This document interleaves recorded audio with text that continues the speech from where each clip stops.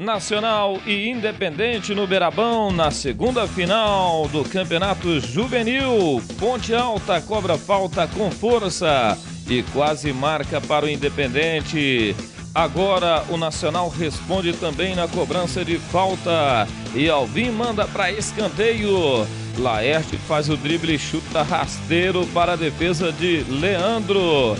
Flavinho cobra falta. Goleiro Alvim tenta a defesa e entrega para Lucas que manda para a rede. Novamente a bobeada de Alvim e o gol de Lucas. Nacional 1, Independente 0.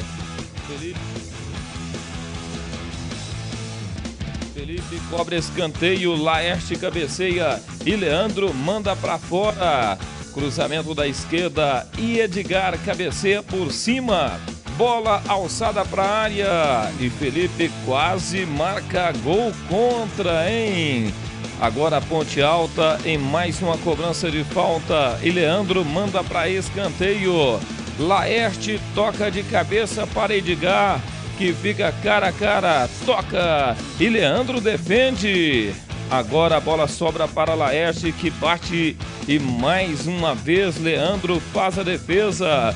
O goleiro do Nacional pega todas. Agora é Edgar quem tenta. Segundo tempo, o Independente chega no contra-ataque com Laerte que fica cara a cara e toca no cantinho para empatar a partida.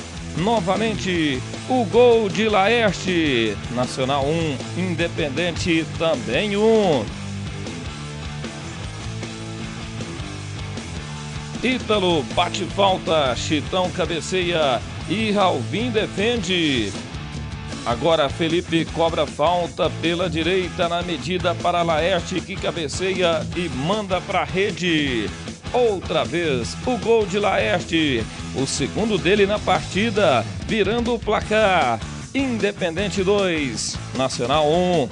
Mais uma chance do Independente com Talala. E Leandro evita o gol. No finalzinho, Matheus bate por cobertura e marca o terceiro do Independente. Novamente o gol de Matheus, fazendo Independente 3, Nacional 1, placar final. Com a vitória, o Independente conquista o título do Campeonato Juvenil de 2009. Parabéns, o técnico Marcinho, jogadores, dirigentes e torcedores do Independente. O grande campeão juvenil de Uberaba. Valeu, Azulão, que conquista o título em cima do Nacional. O time de melhor campanha. Independente, o grande campeão juvenil de 2009. Parabéns!